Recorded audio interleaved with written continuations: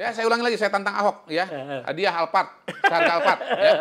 Yang menang nanti Pilpres 2024 siapa? Dengan spesifikasi yang tertinggi. dengan spesifikasi tertinggi ya. Cek Ah, ah. harganya. Cek harganya. ah. Kalau saya menang abang bayar ke saya, Eh. eh, kasih saya. Kalau saya abang yang menang saya bayar ke abang. Ya, ya.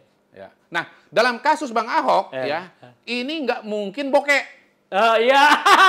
Karena komisaris utama Pertamina Iya, iya. gajinya gede, bonusnya juga gede. Sekarang saja dipindahkan ke Kalimantan Timur yang Ya. sudah punya infrastruktur pendukung bagus, angka yang dibutuhkan untuk membangun IKN itu besar. Iya, iya, iya. Apalagi kalau pindah di Kalimantan Tengah, ya. Pak Ahok jangan bantah saya. saya orang Palangkaraya. Iya, iya, iya. Saya tahu itu lahan mau Iya, ditaruh di iya, mana. iya. Jadi dia sering mengeluarkan hal yang kontroversial. Asbun bang, Iya, Asbun. as- Ahok ini Asbun. ya, saya nggak tahu pernah ada yang ngomong Asbun nggak. Tapi kalau ada yang pernah, saya bilang Asbun. Ini bener Asbun. Nah, di situ saya mendengar bahwa Ahok ini Hmm. kabarnya Iya. merasa mendapatkan wahyu Hah? bahwa dia itu harus jadi presiden Indonesia, bang.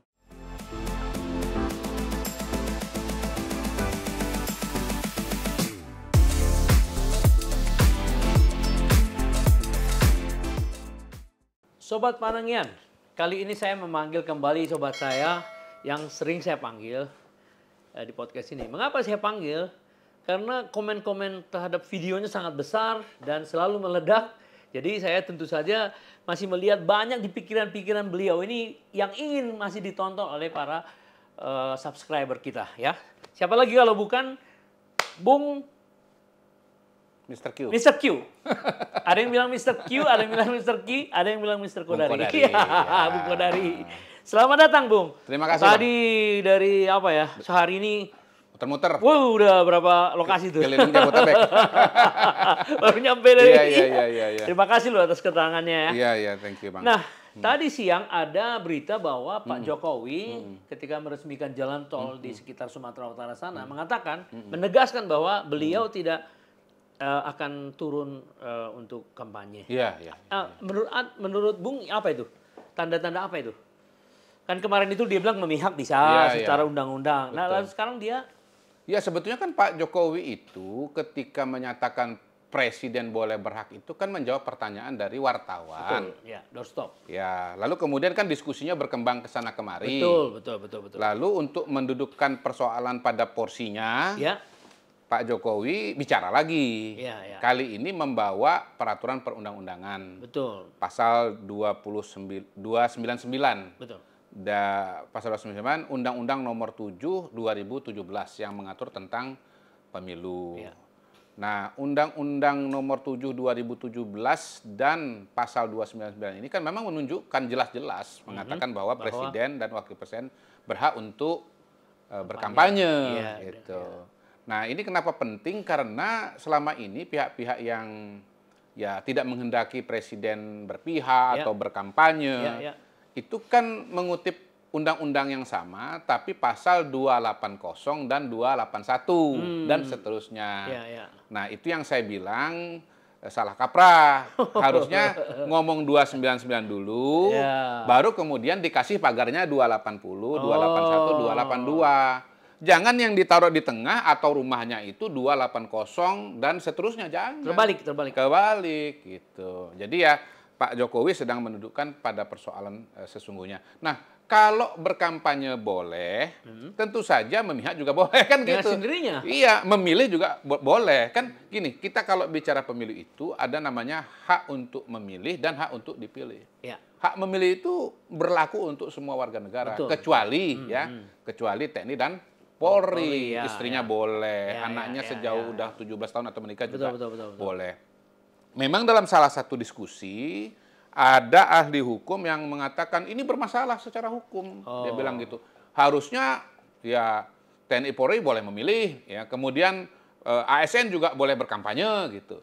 Ya saya bilang kalau bicara soal seperti itu wilayahnya bukan undang-undang yang sekarang. Ya. Harus dilakukan perubahan undang-undang. Itu Ya, berarti bicara pemilu yang akan datang dan undang-undangnya diubah. Ya. Kan begitu. Dengan sendirinya. Ya. Iya, tapi kita kalau mau diskusi mengenai situasi pada hari ini, ya jangan ngomong undang-undang yang ke depan dong. Yang belum gitu ada. loh. Iya, yang belum ada.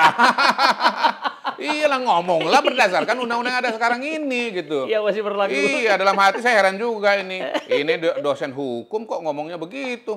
Dosen hukum ya Anda harus taat dengan undang-undang sekarang. Sejak kapan dosen hukum patuh kepada undang-undang yang akan datang? yang belum ada. dalam hati aja sih. Oh iya iya iya iya. iya. Jadi artinya dia menegaskan itu untuk memberi respon kepada masyarakat Betul, betul. yang salah paham, yang tidak mengerti hukum. Ya saya kira ya pernyataan itu bagian dari penegasan lagi dari Penegasan, ya. Pak Jokowi begitu. Karena kan belakangan setelah beliau mengutip undang-undang itu makin kencang yang mengatakan Pak Jokowi ini nggak boleh memihak kalau memihak bukan negarawan dan seterusnya. Ya, ya, Dijawab aja oleh beliau. Saya nggak akan kampanye kok. Santai ya. santai, iya, santai. Memang Iya, salah satu iya, ciri khas dan kelebihan Pak Jokowi itu kan ya mau topan badai ya beliau tetap tenang Iya, gitu. Itulah kelebihan Pak Jokowi. Sebagai Iya, politisi ya. Betul. Ja- jangankan berhadapan dengan dinamika pemilu ya, berhadapan dengan krisis terbesar Hmm. yang cuman muncul mungkin 500 tahun sekali, 200 kali yang namanya pandemi.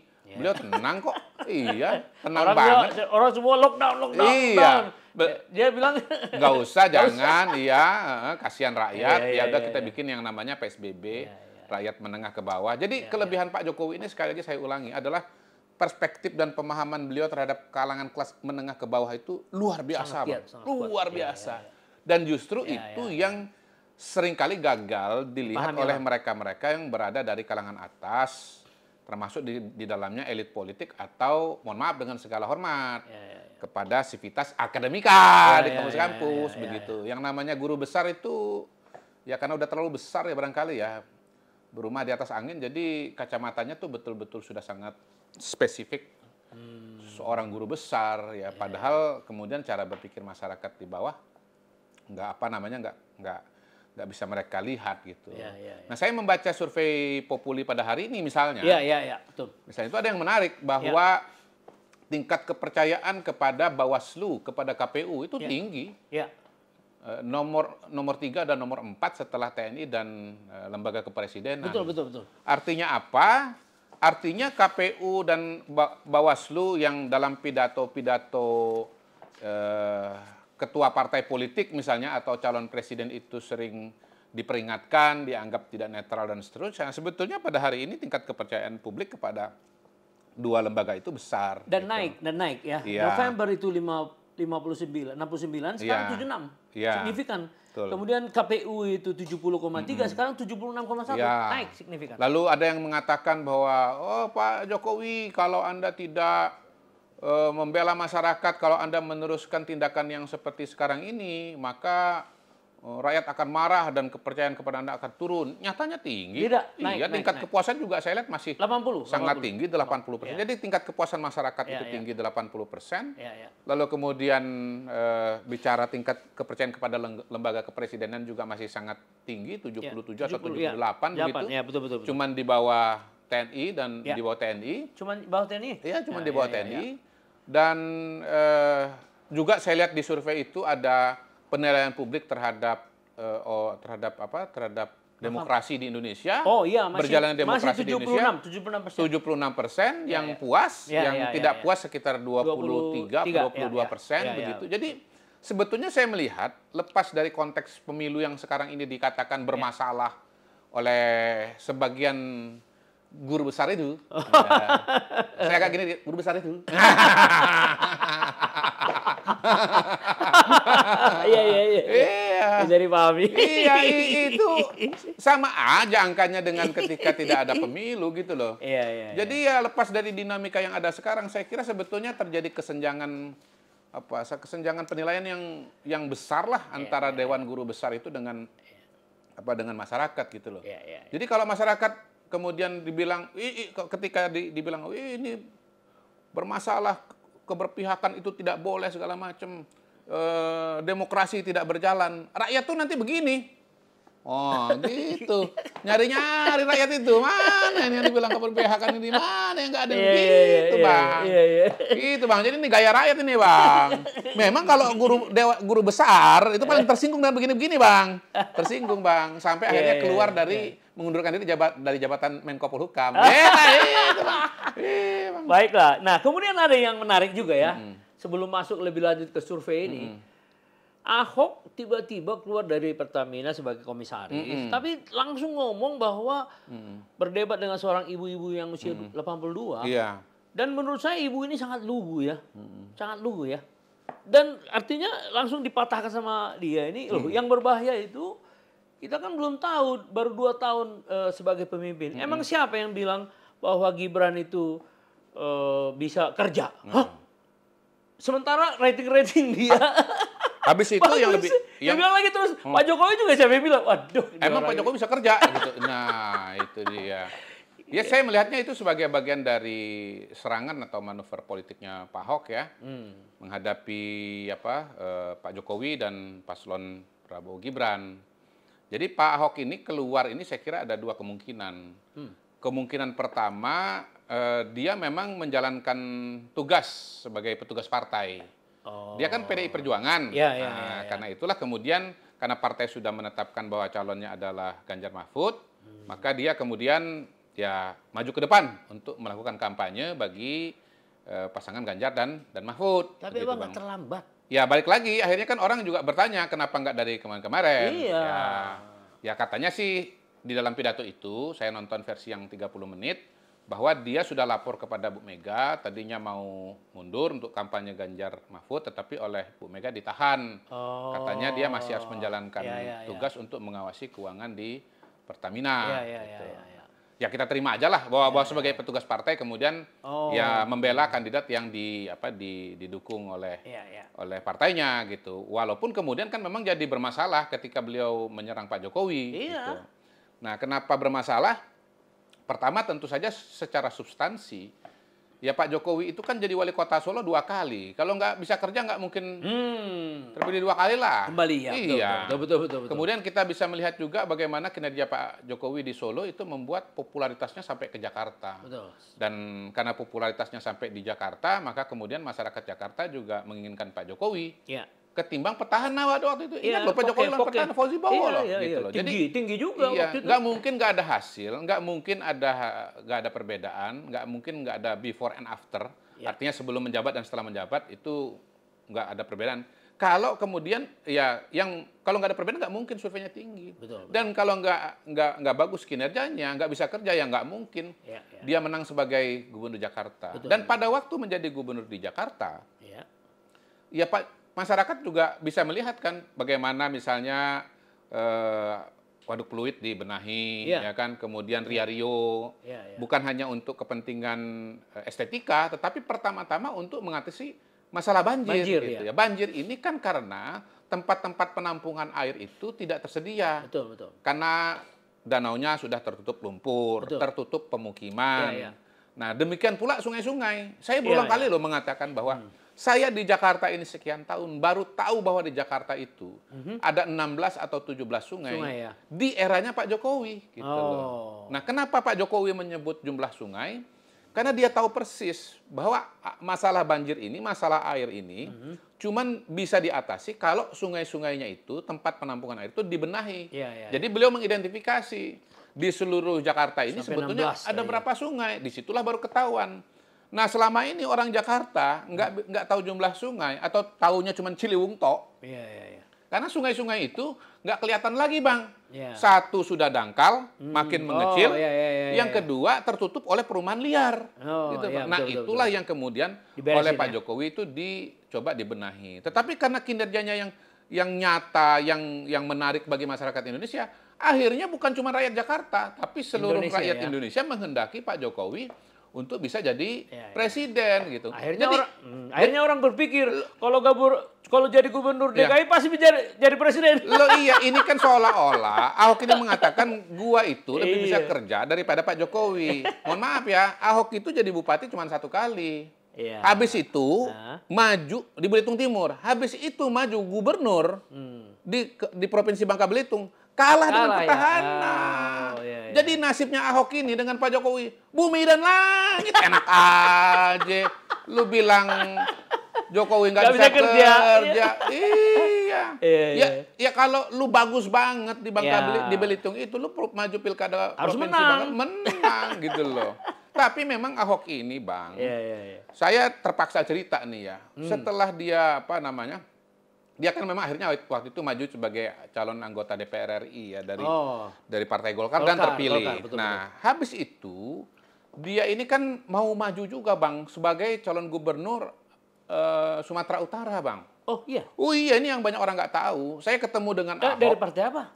PDI Perjuangan. Oh, PDI Perjuangan. Iya, Oh. jadi waktu itu di Teku Umar ada acara eh, apa mengumpulkan para calon gubernur, wakil gubernur Oh, Pak eh, Taufik Kemas. untuk Sumatera Utara dikumpulkan oleh Pak Taufik Kemas. Ya, saya ada di ya, situ. ya. Oh. Saya juga terkejut gitu. Kalau misalnya petahana kan wajar. Dong. Ada misalnya mantan Pangdam Tritamtomo Ya, wajar. ya, Lalu ya. kemudian ada siapa lagi siapa lagi itu wajar. Tapi saya terkejut juga lihat Ahok di situ. Oh. Loh, Ahok ini ternyata ambisinya luar biasa sampai kemudian mewacana setelah gagal eh, gubernur di Bangka Belitung, Bangka Belitung. dia mau maju gubernur di Sumatera Utara. Hmm. Nah, singkat cerita memang akhirnya Ahok pun batal ya, tidak dipilih Kenapa? sebagai calon. Saya nggak tahu persis Oh, iya, ceritanya iya, seperti iya, apa iya, ya. iya, iya. Eh, mungkin surveinya kecil lah pada Iya, waktu iya, itu. iya, gitu. iya, Tetapi dari situ saya kemudian agak mencari tahu lebih jauh Ahok ini apa dan bagaimana sih sebetulnya gitu. Hmm. Nah, di situ saya mendengar bahwa Ahok ini Hmm. kabarnya Iya. Merasa mendapatkan wahyu Hah? bahwa dia itu harus jadi presiden Indonesia, Bang. Hah? Iya. Dari mana itu? Ya ini kan saya dengar cerita-cerita Oh, dari orang-orang yang, yang dekat dengan dia. Ya, pokoknya cerita itu nyampe ke saya lah gitu. Dalam oh, ya circle-circle politik lah gitu. Nah, singkat cerita kemudian kan Ahok menjadi calon wakil gubernur Jakarta berpasangan dengan Pak Jokowi. Iya. Lalu menang Ya. ya. Pak Jokowi eh, 2012 terpilih gubernur, 2014 terpilih sebagai presiden, Republik Presiden, Indonesia. ya, ya, ya. Ahok naik dari wakil gubernur menjadi Gubernur. gubernur di DKI Jakarta untuk menggantikan Pak Jokowi. Wal- Sampai kemudian Ya. akhirnya pada Pilkada 2017 kan kalah dengan atau melawan Anies kan? Ya. Gitu. Ya ya sebetulnya kalau lihat konteks itu memang Ahok ini ambisi politiknya sangat besar. Iya dong. Walaupun menurut saya akan sulit ya. Karena apa? Karena Ahok ini kalaupun dia bisa kerja tapi dia nggak bisa komunikasi yang baik gitu. Sebetulnya menurut saya dengan turunnya Ahok kepada pasangan Ganjar dan Mahfud ini sebetulnya ini agak berbahaya. Oh, kenapa? Iya, karena dia bisa aja mengeluarkan pernyataan-pernyataan Ya, yang kontroversial ya, dan menurut saya ya. sih sudah terjadi. Ya, ya. Ketika dia me- me- menyerang Pak Jokowi mengatakan emang Pak Jokowi bisa kerja, menurut saya itu blunder politik. Hmm. Menurut saya mayoritas masyarakat Indonesia yang suka yang puas dengan Pak Jokowi ini yang surveinya 80%, 80% itu. ya. Begitu dibilang Pak Jokowi nggak bisa kerja marah sama Ahok. Hmm. Marah sama Ahok gitu. Dan karena itu saya punya keyakinan ini saya tantangin nih Pak Ahok nih. Ah. Pak Ahok kan mengkampanyekan Ganjar sama Mahfud. Iya, iya. Saya mengkampanyekan Prabowo Gibran, Oh, ya iya, kan? iya, iya. Heeh. Ayo yang menang siapa? Iya, iya. Taruhan kita. ya kalau Pak Ahok setuju ya nanti ngomong sama eh, Bang PS Siap, gitu kan siap, komunikasi ya. Saya ulangi lagi taruhannya. Alper. Se- seharga satu Alphard. Nah, itu. Ayo Bang Ahok. Ahok lawan Kodari, Kodari lawan Ahok. Iya.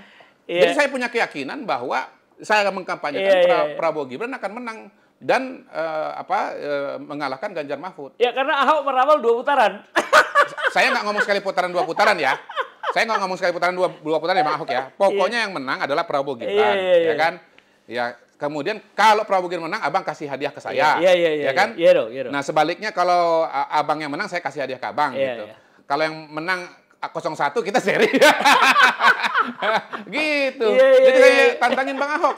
Jadi, jadi saya saya buktikan bahwa eh, ya Abang mau memenangkan Ganjar Mahfud dan mengalahkan Pak Jokowi. Ya, menurut saya kita bisa memenangkan Pak Jokowi dan memenangkan Prabowo Gibran Iya, gitu. iya, Dan Abang mengatakan Pak Jokowi nggak bisa kerja, menurut saya Pak Jokowi sangat bisa kerja Iya. gitu. Iya, iya, iya. Gitu, Bang. Jadi menurut saya sih ya gimana ya? Sebetulnya Ahok masuk itu itu bisa jadi anu loh, malah jadi blunder ya buat Hmm. buat pasangan Ganjar Mahfud gitu. Nah, nah yang kedua yang menur- yang saya juga punya keyakinan adalah bahwa Ahok ini masa jayanya sudah udah lewat.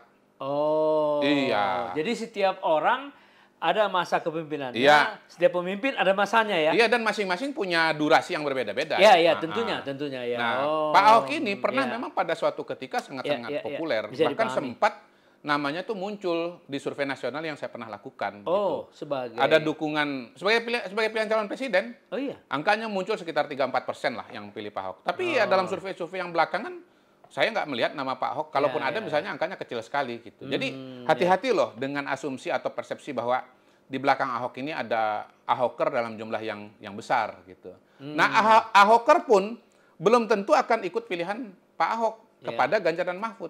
Ya contohnya nggak usah jauh-jauh. Ahoker yang menghadiri acaranya Ahok itu kan ibu itu kan, Ya, itu ya. kan milihnya Prabowo. Iya, iya. Lo Ahok itu kan marah-marah itu sampai keluar bahwa bahwa Jokowi nggak bisa kerja, emang Iya. Jokowi bisa kerja. Itu kan lagi ngomong sama ibu yang milih Iya, iya, iya, Prabowo iya. Gibran. Iya, iya. Emang Gibran bisa kerja? Itu kan Iya, karena iya. ibu itu milih Prabowo Gibran, Iya, Bang. Iya, iya, iya, betul, betul, betul. Lo betul. iya. Jadi Iya, iya, iya. j- jadi nggak usah jauh-jauh lah kita nggak usah ngomong Iya, Ahoker iya. yang nggak datang, Ahoker Iya, yang iya. tersebar di seluruh Indonesia. Iya, iya, iya. Ahoker yang datang ke acaranya aja ternyata ada yang milih Prabowo Gibran gitu loh, Bang. Ya, jadi ini bisa dijelaskan ya bahwa katanya kalau yang muda itu ya dari 49% Gen Z sama Hmm. milenial naik menjadi 57,6 persen. Populi Center ya. Artinya dukungannya Jangan terhadap dulu bang. 02 Jadi ya. kita bahas dulu survei Populi belum kita anu, belum kita bahas angka-angkanya. Ya, oke, ya. Jadi survei Populi itu Ya. pada hari ini, ini kenapa saya datang nih bang? Karena udah ada data, data baru nih bang. iya.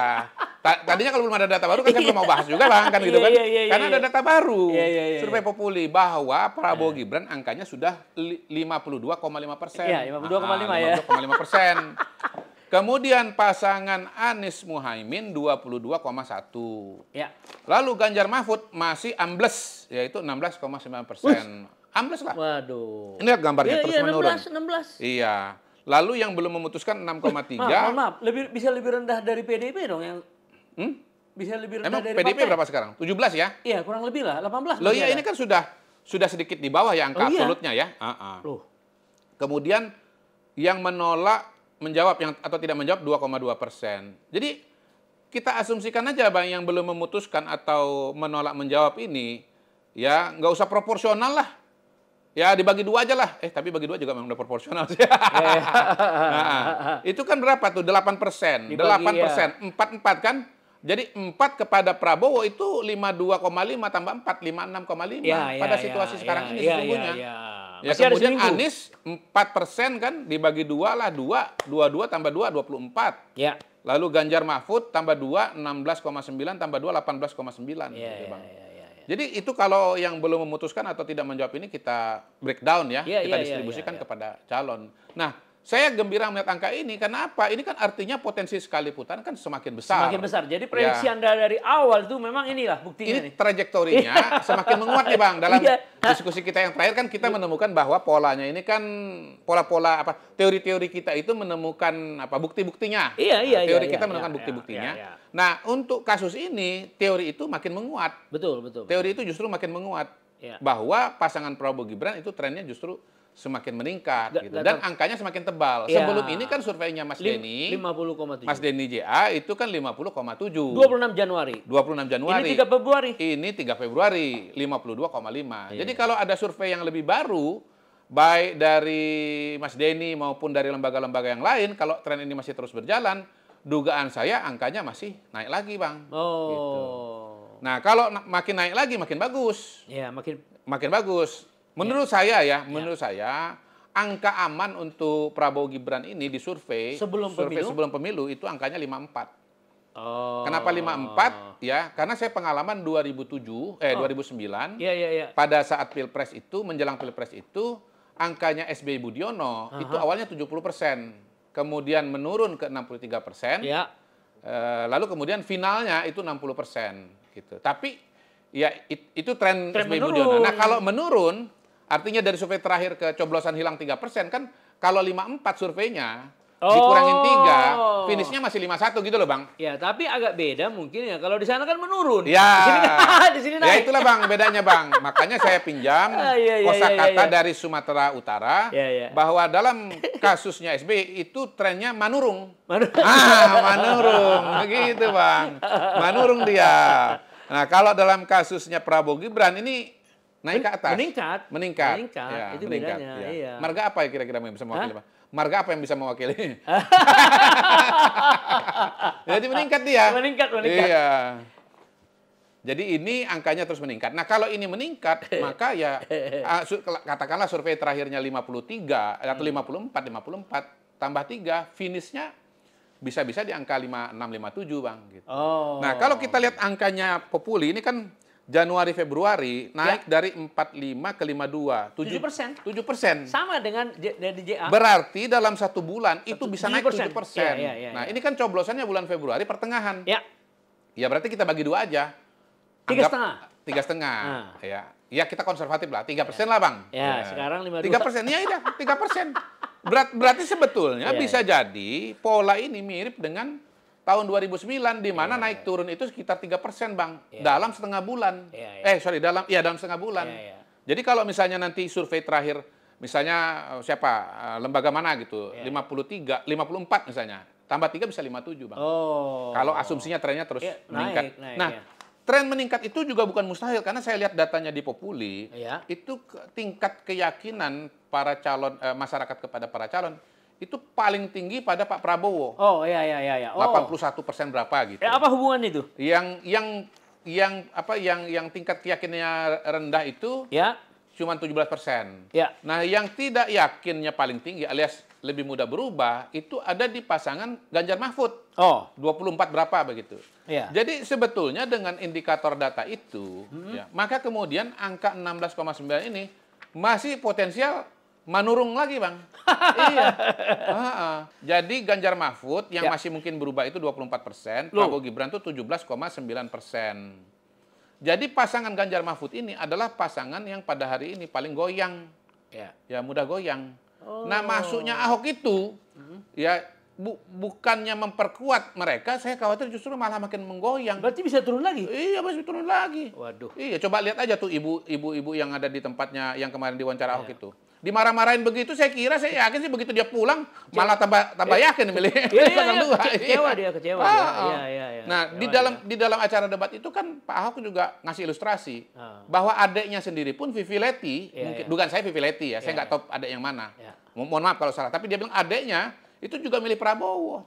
Hmm, Iya, iya. Lah, jadi balik lagi bang, jangankan orang lain. Pak Ahok adiknya pun juga nggak pilih, nggak Iya. sama pilihannya Betul, dengan betul, dia. betul, gitu. betul. Saya mau tambahan lagi bang. Ah, ya, silakan. Nah, jadi Pak Ahok ini sebetulnya Aha. kalau bicara Belitung, Ya. ini adalah dinasti politik bang. Kenapa? Banyak orang nggak tahu. Hah, kenapa itu? Karena di, di, di, di Bangka Belitung, khusus- di Belitung Timur itu, Iya, iya. kakaknya atau adiknya namanya Basuri Purnama, itu pernah bupati bang. Oh. Iya, pernah maju bupati. Kemudian adiknya Vivi Leti, dan itu terpilih. Oh. Satu periode. Periode Iya. kedua kalah dengan Yuslih, Iya, kakaknya iya. Pak Yusril. Iya. Nah, adiknya namanya Vivi Leti pernah maju calon wali kota. Oh. Tapi kalah melawan petahana. Gitu. Hmm.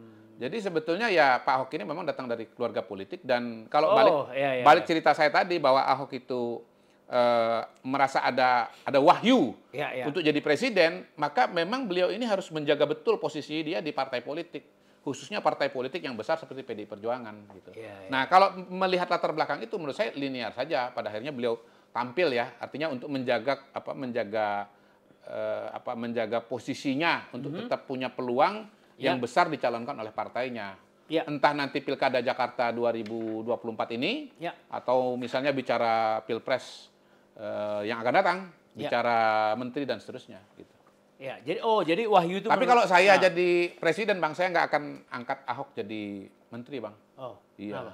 Ya karena tadi itu omongannya kontroversial. Oh. Jadi iya, pejabat iya. publik itu bang harus bagus kerja, tapi bagus juga ngomong. Oh. Kalau bagus kerja, nggak bagus ngomong, nanti kerjaannya bisa kacau bang. Bahkan bisa menimbulkan masalah yang lebih besar. Hmm, di dalam Gitu. internal Iya, perusahaannya. iya, ya, ya, ya, Pak Ahok ya. itu cocoknya di swasta aja lah, swasta murni.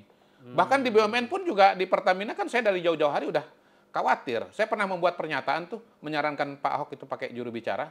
Karena Oh. saya khawatir kalau beliau ngomong langsung ke media itu nanti eh, kebablasan dan menimbulkan eh, kontroversi. Dan ternyata kan sempat muncul juga beberapa pro, pro- apa, Iya, iya, kontroversi. iya, iya. Misalnya dia mengatakan bahwa direksi Pertamina itu kerjaannya menjilat menteri aja.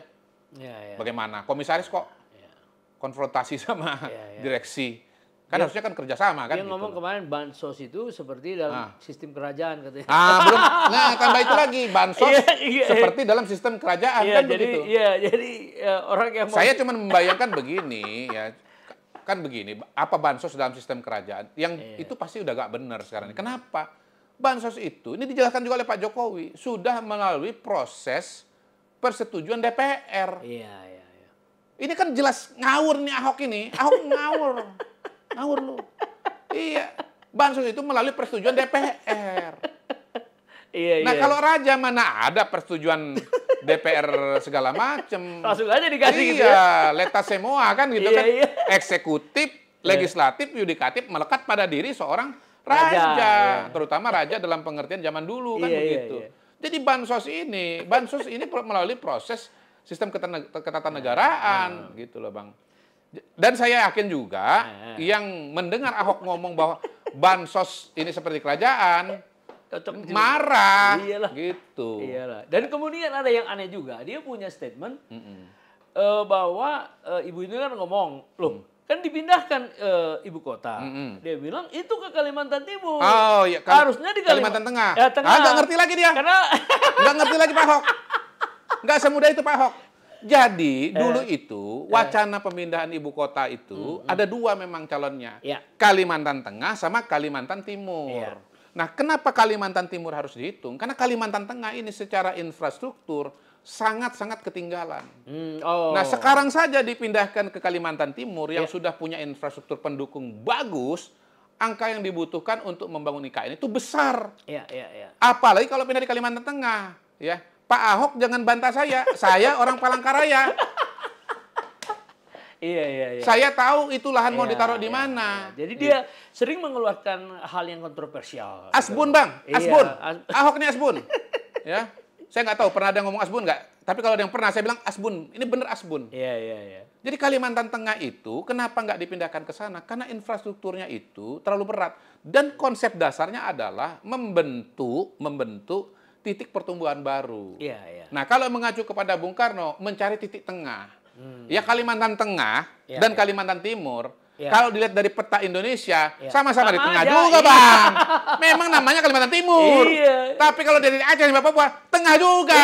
Astagfirullahaladzim. Dia bilang Ahok, banyak Ahok. banyak tanah yang kosong di sana milik Pertamina bisa dikasih gratis. Nah, balik lagi kalau kita bicara Aduh. pembangunan kota, ini kan mau dimulai dari nol supaya apa? Semuanya betul-betul tertata, Ya. semuanya betul-betul modern, sebetul-betul semuanya betul-betul eh, apa in- environmental friendly Yes. gitu kan?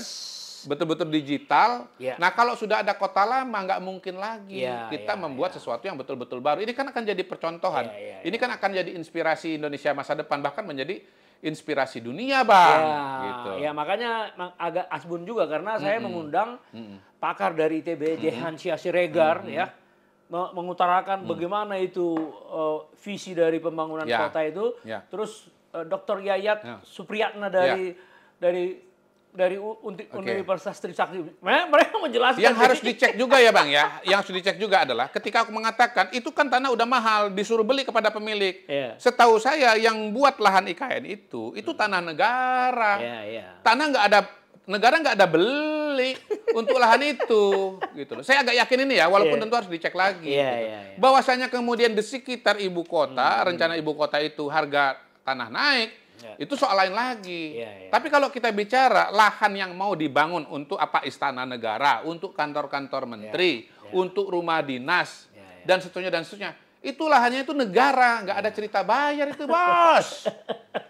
ya, saya ulangi lagi, saya tantang Ahok ya, hadiah Alphard, harga Alphard. Ya.